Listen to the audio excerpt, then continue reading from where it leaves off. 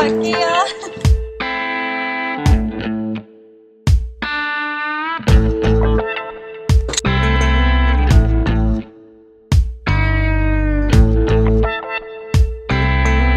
제가 그때 너무 약간 화가 많이 나가지고 오해 아닌 오해가 그런 거 있어요. 그게 내 스스로한테도 부담이고 생각도 안 하니까 아, 여러모로 좀 빡쳐요. 그래서 그때도 되게 기분이 많이 안 좋았어요. 이건 아니지. 그럼 이제 폭발을 하는 거지. 좀 적극적으로 말하던가. 그냥 찢어주고 싶으니까. 아 이게 뭐냐고. 그 순간 정말 화가 팍 나는 거예요.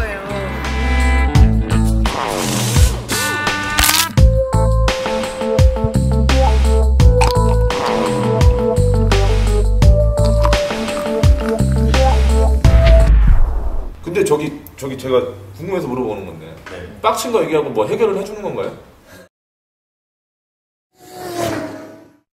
이 코너에 대해서 빡치면 어떡하죠?